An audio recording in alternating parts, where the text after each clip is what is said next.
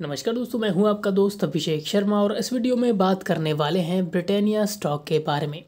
तो शुरू करते हैं आज के 15 मिनट चार्ट की। अगर मैं बात करता हूँ, बयालीस सौ रुपये पर क्लोज़ होता हुआ स्टॉक नज़र आया।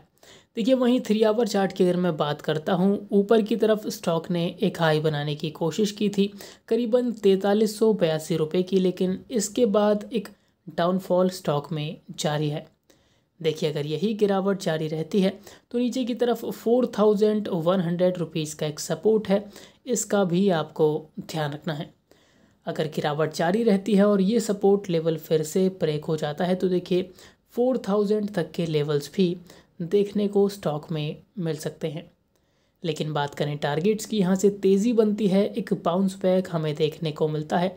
तो आने वाले ट्रेडिंग सेशंस में जो टारगेट स्टॉक अचीव करेगा वो हैं four thousand three hundred, four thousand four hundred यहाँ तक कि फोर थाउज़ेंड फाइव हंड्रेड तक के लेवल्स भी अचीव हो सकते हैं। तो अगर आपके पोर्टफोलियो में स्टॉक शामिल है, कंटिन्यू होल्ड करें, लेकिन यहाँ पर अगर आप फ्रेश बाइंग करना चाहते हैं तो एक रेजिस्टेंस लेवल मैं आपको दिखाता हूँ।